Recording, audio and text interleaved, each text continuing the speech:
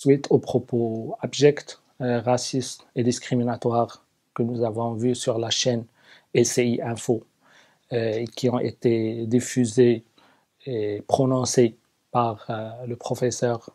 Jean-Paul Mira, chef du service de réanimation à l'hôpital Cochin Paris, faisant une imputation sur le peuple africain comme étant des rats de laboratoire, des personnes sur lesquelles on peut tester euh, des vaccins parce qu'ils n'ont pas d'infrastructure de santé, parce que de toute façon, ils seront malades. La réponse logique et, civique à ces propos, c'était une suite juridique.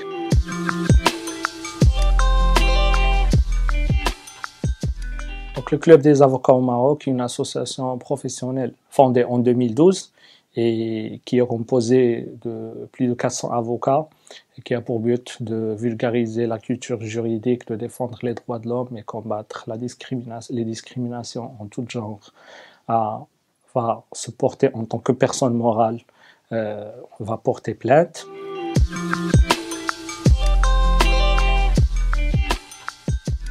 contre la chaîne LCI et, et le professeur Jean-Paul Mérat et la troisième personne qui a aussi tenu des propos offensants et discriminatoires.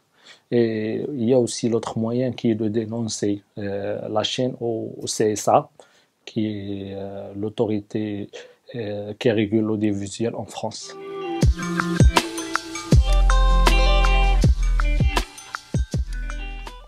considérant le principe de la territorialité des lois et des peines, nous allons euh, déposer la plainte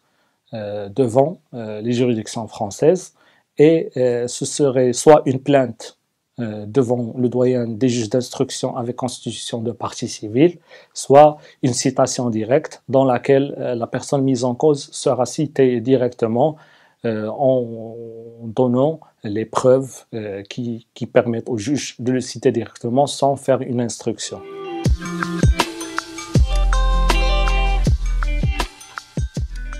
En vertu de la convention judiciaire franco-marocaine, les avocats marocains sont habilités à représenter les parties dans les mêmes conditions que les avocats français. Euh, c'est la convention, il date de 1958, qui a été modifiée, je pense, en 1971, et c'est dans son article 4.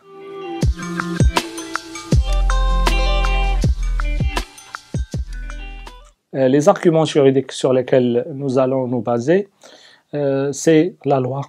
relative aux infractions de la presse euh, du 29 juillet 1881 et surtout l'article 32 alinéa 2 et 3 relatif à la diffamation raciale et aussi l'article 33 alinéa 3 et 4 relatif aussi à l'injure raciale. Et donc, euh, euh, la, peine ou la sanction encourue dans, ces articles peut aller à un an de prison et 45 000 euros d'amende.